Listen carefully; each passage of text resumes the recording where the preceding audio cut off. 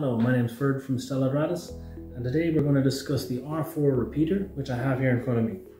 So the R4 repeater is a multi-operator repeater which means it amplifies all mobile operators across Europe and it amplifies four bands, band 20, band 8, band 3 and band 1 and it provides coverage in about two to five rooms in your house depending on the walls in your house and uh, the size of the rooms. So what's really nice about this uh, repeater is that it's got this touch LCD display and that allows us to very easily see the status of each band.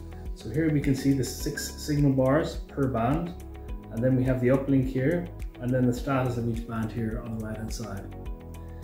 Now what I can do is I can press the menu button and go into the settings and I can turn on and off each band.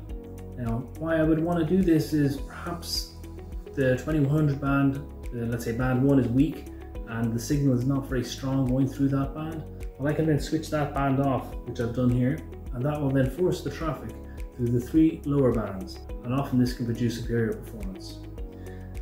Sometimes a band is very strong and it uh, automatically shuts down the band to protect the operator's network.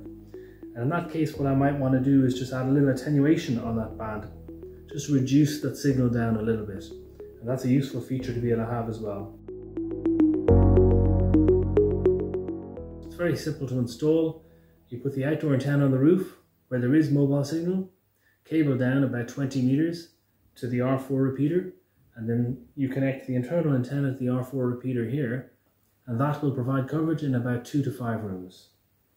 So that's really sums it up for the R4 repeater. Thanks for watching, have a nice day, and I'll see you in the next one.